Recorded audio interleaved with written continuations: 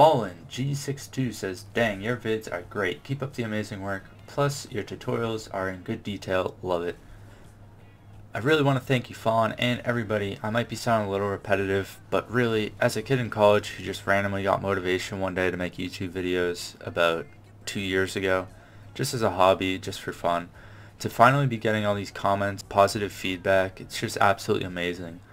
So again, just thank you all so much. Epic Elites HD says, Great vid, I'm just not good enough to do it.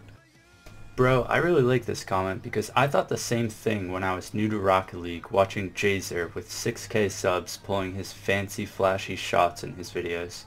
And I'm not saying at all that I'm as good as Jhzer or whatever necessarily, but it's the same idea. So remember, it's just a process. If you play and enjoy Rocket League enough, you will get better in time. On All Tall says his fave YouTuber is back. Thank you so much, On. It's funny because until I read your comment, I didn't really see myself as a YouTuber, just so much as a guy who just uploads YouTube videos, which might sound weird, but I think there's a difference to be honest. So thank you so much. So, some amazing viewers have been wondering how they could help my channel out to allow me to make more videos.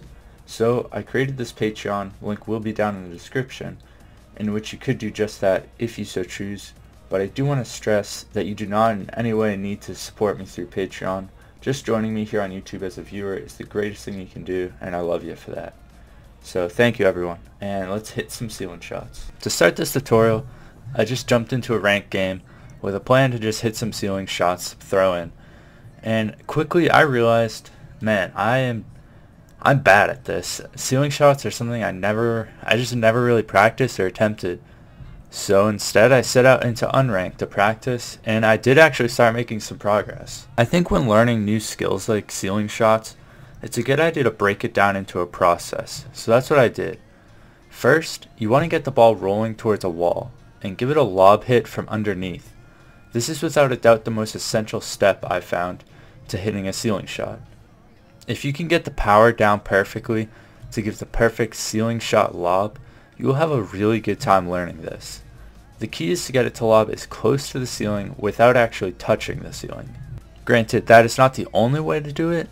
You can hit it really at any point, but the problem is people who are decent will intercept the ball if you let it go too low. And the problem if you if you hit it too hard, then it'll hit the ceiling and do this, which is just bad. So, after you get that lob, try to drive up to the ceiling and line yourself up for a shot. Remember that you don't have to rush this. The point of that lob pass you give yourself is to arc it in a way that gives you time to align yourself for a shot. A lot of times I found myself driving almost in a curve so that I could get behind the ball and line up with the goal. And then from here, remember it's very important, do not jump off of the ceiling, just let yourself fall off of the ceiling. There's an important difference, and I find it works well if I hold square to drift off or if I just pull off and boost to disconnect. The reason being for this is that if you come off of a surface without jumping, you keep your double jump forever. So if you do jump off of the ceiling, instead of letting yourself fall off, you only have a small window to then use your double jump to hit the ball again.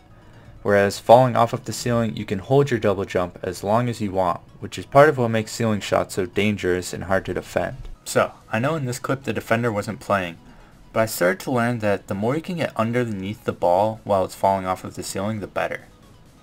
At this point, I jumped back into competitive to see if I could apply any of this training, and I was actually pretty happy with myself.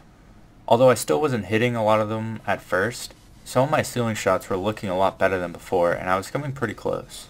So next, I started queuing with someone who had recognized me in-game, and we were really killing it. We went on like a, it was probably like an 8 or 9 game win streak, and he hit this ceiling shot one of our games, and it really put everything I had learned prior into it. He had the perfect lob, falling off the ceiling, and then he got the perfect position underneath the ball and then chipping it back in an upwards direction into the goal. So I think with that I will wrap up this tutorial. I'm sorry if maybe this one was a little bit less in depth as my previous ones. I hope you were still able to learn something or at least enjoyed watching my journey in learning how to ceiling shot myself. And so, I am almost 3.5k subs, just holy moly. Uh, I was supposed to announce the Bitcoin winner from my giveaway at 3k subs and 3k is just absolutely blowing by so go Krypton. This is great you're awesome. Thanks for the giveaway good luck for your channel growth. Thank you so much Crypto Krypton by the looks of your name it looks like you are quite invested in the crypto universe so congratulations to yourself you have earned $25 copy paste your address head over to Bitcoin, copy, paste your address here. Um, Alright, so I just bought, I didn't have any Bitcoin at the moment, so I bought $30. It was like a two whatever fee. And this is ridiculous. Bitcoin has a 15.95 fee for sending $27, which is more than more than 50%. So I don't, I don't know what's up with Bitcoin, but uh, I'm not sure what I can really do about that. That's kind of out of my control, but I'll send you this. The uh, I, I hit send max, so 27.79 is what's being sent. Congratulations, Ice Pick, 3K sub winner. Uh, yeah, I mean, I guess you'll see it in the video too if you watch this, so. Congratulations.